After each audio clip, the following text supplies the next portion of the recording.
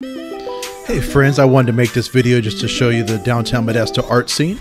Uh, I didn't actually know how much it had grown until we signed up our son Benson for an art class here at the Chartreuse Muse.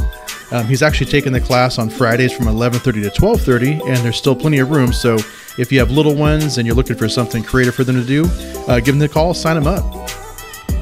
And they've been in this current location since 2007, but they've been a gallery since 2002. Uh, very friendly. I appreciate them taking the time to talk to me. and actually had the opportunity to watch a local artist add this mural right here. And you're going to find these here in the alleyways. Um, and recently went on a date night with my wife, and she's very cute, so we took some cutesy pictures. Valley Music Institute was started by a friend of mine named Darren Morris, and he puts young musicians together into bands, and they just really are rock stars. Uh, this is the Mistlin Gallery. This is downtown as well.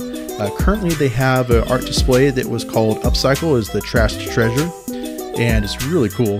Um, they do have other displays coming up, so if you want to look on their website, they are giving opportunities for local artists to submit their art as well.